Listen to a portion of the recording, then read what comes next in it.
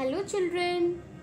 Today we will learn how to read a letter N.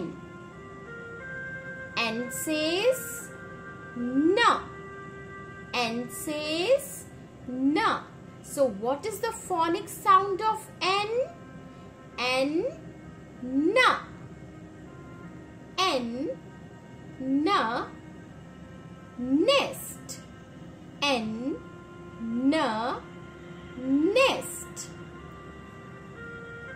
n n nib.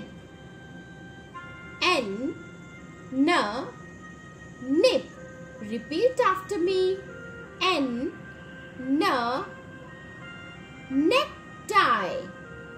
N n necktie.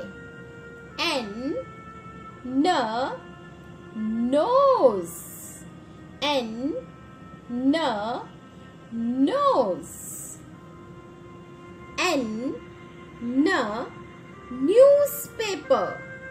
N n newspaper. N n nurse. N n nurse. N N nail. N N nail Do practice at home. Bye bye.